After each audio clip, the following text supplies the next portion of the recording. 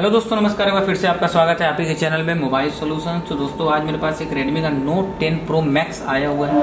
और इसमें प्रॉब्लम ये है दोस्तों कि ये सिस्टम यूआई पे फेल हो जाता है या फिर ये आपको एम आई लोगो दिखा के यहाँ पे रुक जाता है। ये कभी चालू होता है, कभी नहीं चालू होता है। तो यहाँ पर देखिए सेकेंड लोगो आ चुका है।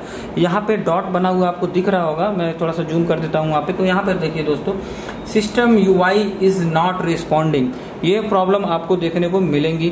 तो मैं थोड़ा सा इसको पास कर देता हूँ ताकि आप अच्छे से इसको देख पाए। तो यहाँ पे मैं थोड़ा सा क्लियर कर देता हूँ। तो यहाँ पर देख सकते हैं दोस्तों कि system UI is not responding का एरर आ रहा है। तो अब ये प्रॉब्लम आता कैसे है? तो वीडियो लास्ट तक देखिए दोस्तों, इस फ़ोन को मैं रिपेयर करने वाला हूँ, बिल्कुल लाइव अगर आपने मेरे चैनल को अभी तक सब्सक्राइब नहीं किया तो सबसे पहले दोस्तों जाके चैनल को सब्सक्राइब करिए और बेल आइकन के घंटे को दबाइए, ताकि अगली वीडियो अगर मेरी आए तो आप तक जल्दी से पहुँच जाए और उसको देख के आप कोई ना कोई बेनिफिट उठा पाए। तो यहाँ पे आप देख पा रहे होंगे जैसा कि आपको वीडियो में मैंने दिखा दिया कि system UI is not responding का प्रॉब्लम आ रहा है इसमें फ़ोन कंप्लीट चालू नहीं होगा, किसी भी तरीके से कोई भी यूज़ आप नहीं कर पाएँगे। तो ये सब सारी चीज़ें हैं तो चलिए वीडियो में बनी रही लास्ट तक। अब मैं इस पे काम करने वाला हूँ।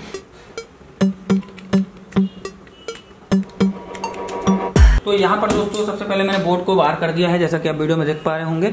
तो यहाँ पे मैंने मैं आपको ये दिखा देना चाहता हूँ कि किसी भी तरीके का कोई भी काम नहीं हुआ है। पत्रा बिल्कुल लगा हुआ है, फ़ोन बिल्कुल फ्रेश है। तो एक बार मैं इसको भी निकाल के दिखा देता हूँ, पत्रा ऊपर जो लगा हुआ है इसके। सो यहाँ पर देखिए मैंने पत्रा यहाँ पे निकाल दिया है दोस्तों। यहाँ पे बिल्कुल क्लियर है, किसी भी तरीके का कोई भी काम इस पर नहीं हुआ है। तो यहाँ पे थोड़ा सा मैं जूम कर देता हूँ ताकि आपको भी अच्छे तरीके से दिख जाए। तो यहाँ पे कोई भी काम इस पर नहीं हुआ है। पत्रा बिल्कुल फ्रेश है, कोई भी काम नहीं हुआ है फ़ोन में। तो चलिए डायरेक्ट हम इस पर काम करेंगे। ऑलरेडी इसमें का फॉल्ट मैं बना चुका हूँ। अगर आप मेरा वीडियो देखते हैं तो मैंने अभी थोड़े दिन पहले ही मैंने डाला था नोट टेन प्रो मैक्स का कैमरे का फॉल्ट तो उसमें मैंने डिस्कस किया था आपसे कि ये प्रॉब्लम क्यों आता है तो ये प्रॉब्लम सीपीयू की वजह से आता है। सीपीयू आपका ड्राई हो जाता है तो ही ये दिक्कत आता है। क्योंकि सीपीयू की यूएफएस की कनेक्टिविटी अच्छे से नहीं होगी तो तब तक तक आपका ये फ़ोन चालू नहीं होगा। सो so, यहाँ पर देखिए फ्रेंड्स मैंने इसका पतरा निकाल लिया है। तो उतना ही कटिंग किया जितना मुझे काम है। बहुत ज़्यादा पतरे को मैंने नहीं कटिंग किया है। अब यहाँ पर मैं सिंपली इसको पिछली स्टैंड पे लगाऊँगा पिछली स्टैंड पे लगाने के बाद इसके सीपीयू को सीधे डिसेबल करूँगा, इसके बोर्ड से बाहर कर दूँगा। तो यहाँ पे मैंने सीपीयू का जो पतरा है मैंने कट कर दिया है, और यहाँ पे आप देख लीजिए कि आपका जो सीपीयू लगा हुआ है, इसमें क्वालकॉम का इकहत्तर लगा हुआ है एस तो चलिए मैं यहाँ पे इसका सीपीयू बाहर करता हूँ। आपको ऊपर से दिखेगा कि पेस्टेड नहीं है बट ये ब्लैक पेस्टेड फ़ोन है दोस्तों। ये, इसके आईसी के अंदर लगा हुआ पेस्ट है बट आपको ऊपर से दिखाई नहीं देगा। तो चलिए मैं यहाँ पे थोड़ा सा फ्लक्स का यूज़ करूँगा। अगर मेरा फ्लक्स इंजेक्ट हो जाता है तो और स्मूथली हमारा आईसी निकलेगा। तो यहाँ पे मैं थोड़ा सा फ्लक्स का यूज़ कर लेता हूँ।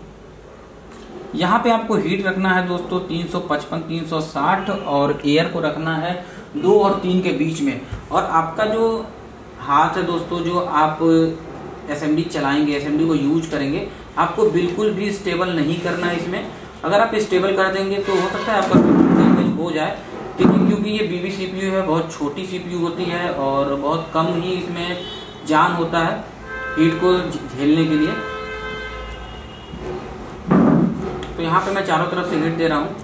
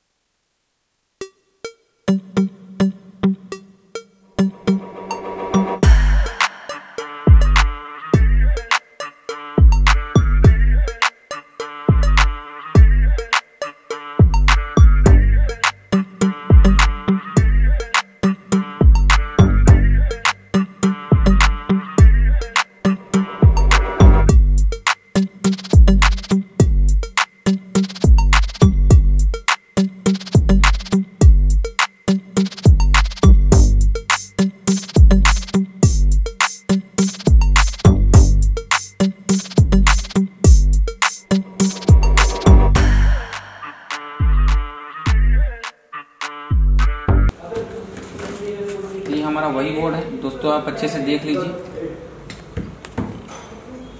यार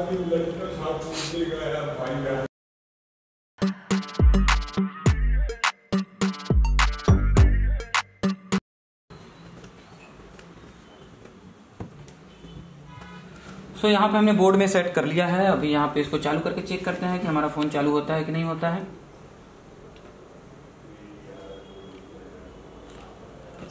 तो यहाँ पर देखिए, हमारा फ़ोन चालू हो चुका है और अब हम चेक करेंगे फ़ोन कंप्लीट चालू हो रहा है कि नहीं हो रहा है। जो हमारा सिस्टम यूआई का जो एरर आ रहा था, वो हमारा एरर फिक्स होता है कि नहीं होता है, ये देखेंगे हम इसमें। ये हमारा फ़र्स्ट लोगो है।